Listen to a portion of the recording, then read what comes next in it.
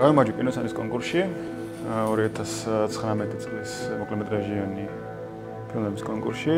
სცენარი არის ჩემი, თავიდან ესე იგი წამოვიდა იქიდან რომ მინდოდა გადამიღო ფილმი მონადირეებზე. მივედი რაღაც ბავშვების ისტორიამდე, რომელიც პრინციპში მოდიოდა ჩემი ბავშვობის რაღაც გამოსილებიდან.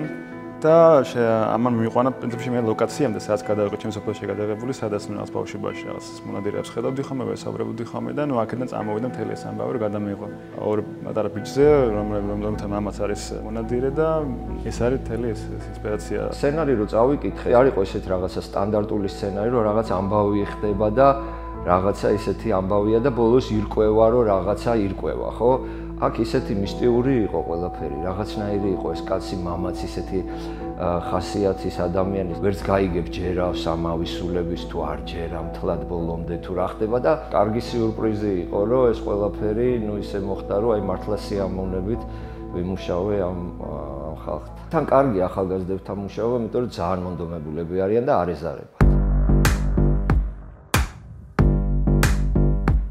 2016 წელს დავაფუძნეთ კინოსტუდია ორნი. ერთად დავიწყეთ მუშაობა მე სანდრომ და ლევან შუბაშვილმა. 2017 წელს უკვე ჩამოყალიბდა გუშაგების გადაღების იდეა და იმ თავითვე გადავწყვიტეთ რომ მე ვიქნებოდი პროდიუსერი. ეს პროექტი უკვე შექონდა ჩვენ შეტანილი 2017 წელს და მოკლემეტრაჟიანი ფილმების დაფინანსების კონკურსში და ვერ მოვიგეთ ეს კონკურსი.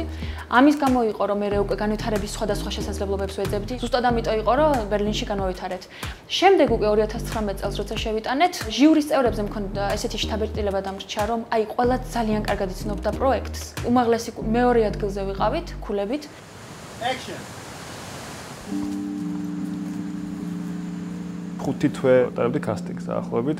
თავიდან ესე გმინდოდა ეგეთ რაღაცა რომ რადგანაც სოფელში ხდება მოქმედება რომ ამიყვანა ადგილობრივი ბავშვები, მაგრამ შემდეგ ამაზე უკან დავიხია, იმიტომ რომ რაღაც მაინც ავთვალე რომ ალბათ სამუშაოს უფრო რთული იქნება, ბევრი რაღაც ნასწავლი თავიდან და ამ ვაჩი ბავშვები, რომელიც რაღაცას გამოსტილდა იქნება და კამერასთან. ქეთინოზაძე იყო ამ ხატვარი.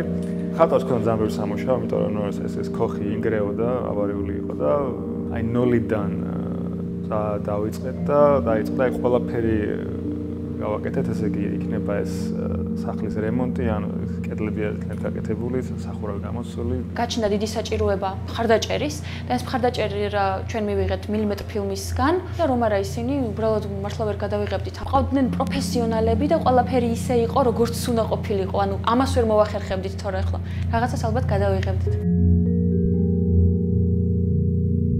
ოლაფ მალინოვსკი პოლონელი э, ოპერატორი.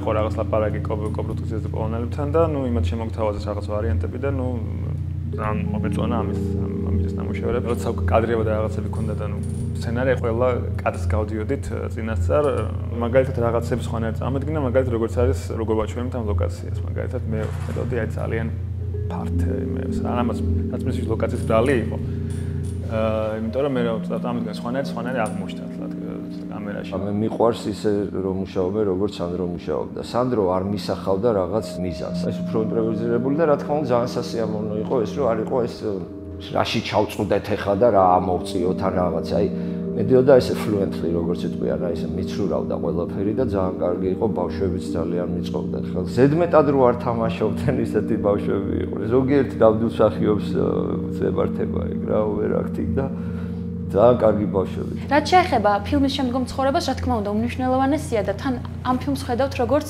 თქვათ, აი საწყის ეტაპს. ამიტომ ეს არის რაღაც სავიზიტო ბარათივით ეს ფილმი.